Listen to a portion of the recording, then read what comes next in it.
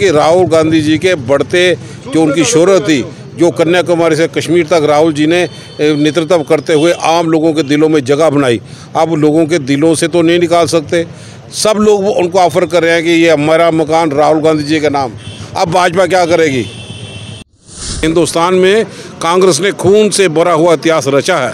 हम सब लोग दिल से सम्मान करते हैं कांग्रेस की उस सोच को, जो सेकुलरिज्म की बुनियाद पे आज भी हिंदुस्तान तरक्की के रास्ते पे भाजपा को सलाह देने की ज़रूरत नहीं, वो अपनी सलाह अपने पास रखे।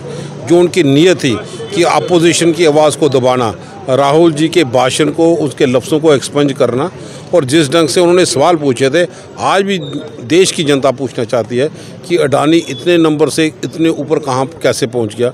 अडानी के पास जो पैसा है, वो किसका है? ये सवालिया निशान राहुल जी का नहीं है। ये सवाल पूरे हिंदुस्तान की जनता जानना चाहती है। उनका हक यहाँ पे है। और जब वो सवाल पूछा गया और जिस ढंग से उनकी सदस्यता को रद्द करके मकान खाली करने की बात की, जहाँ पे भाजपा एक देश और एक कानून की बात करती थी तो जम्मू कश्मीर में वो आँखें क्यों बंद करके बैठी है?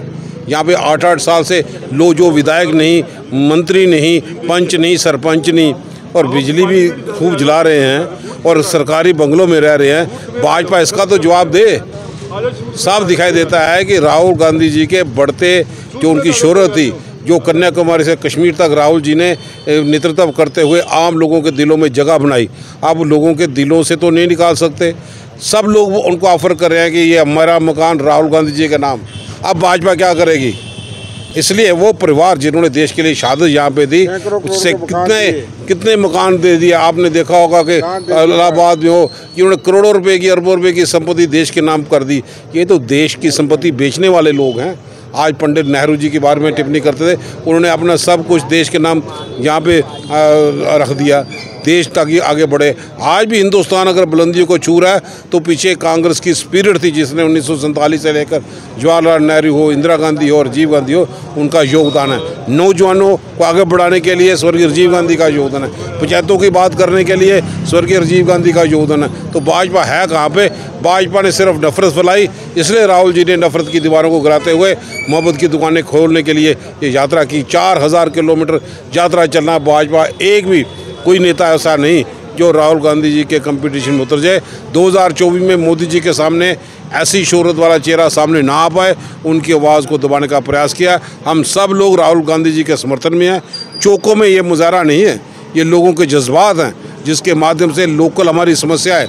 टैक्स की वसूली, टैक्स टैरम क्रिएट करने वाली या प्रशासन, डबल इंजन का प्रशासन, जिसने बेरोज़गारी दी, जिसने हमें डोमिसाइल दिया, हमें स्टेट हमारी तोड़ के यूटी में तब्दील कर दिया। सब चीज़ों का सवाल कांग्रेस पूछना चाहती है और लोगों की अदालत में जाके आज उसी की कड़ी है। पूरे देश भर में जो आंदोलन है, आज हम इस चौक चबूतरा पे कांग्रेस की लीडरशिप यहाँ पे ईस्ट वाले, यहाँ पे ब्लॉक सदर पे इस चीज़ का मुजाहरा करते हुए कि हम सब लोग राहुल गांधी जी के साथ हैं। भाजपा ये जवाब दे कि जम्मू कश्मीर में जब गवर्नर राज नाफिस हुआ तो बाहर के डेलीगेशन को किसने बुलाया था? वो तो भाजपा थी। अपने लोगों को, आज़ाद साहब को, सुप्रीम कोर्ट के लिए परमिशन दे। भाजपा अपना ध्यान दे, कंधार में कौन छोड़ के आए? तो हमें नहीं वो बताए। हम लोग आज भी देश के लिए कुर्बानी देने के लिए तैयार हैं। स्वर्गीय इंदिरा गांधी ने दी, स्वर्गीय राजीव गांधी ने दी, सरदार बेअंत सिंह ने दी। इनको भी पूछो, आपके इर्द गिर्द कहीं भी गोली की बुछार भी आई है।